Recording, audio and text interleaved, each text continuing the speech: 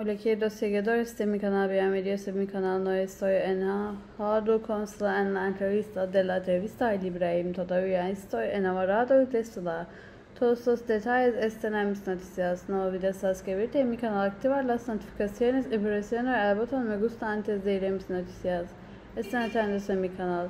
El famoso actor Ibrahim Ceyhan hizo declaraciones que sacudieron la agenda en una entrevista que concedió recientemente en su entrevista con la revista Gardolap, afirma abiertamente que no culpa es la tricolor pareja por la disminución de los ratings de la serie de televisión Emanet. Por el contrario, Ibrahim Ceyhan afirma que todavía está enamorado de Sıla y no está enojado con ella. La serie Emanet experimenta un gran cambio con la salida de su tricolor el año pasado y sus índices de audiencia disminuyeron.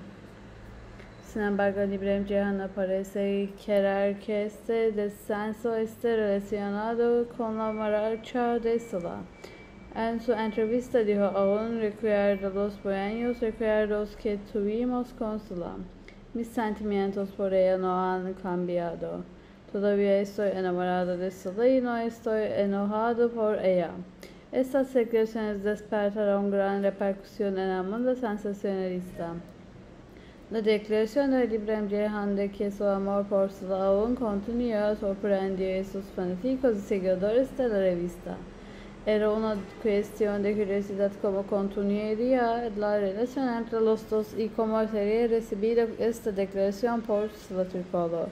Las sinceras declaraciones de Ibrahim Ceyhan iniciaron una nueva discusión en el mundo de las revistas y parece que este número seguirá siendo seguido de cerca.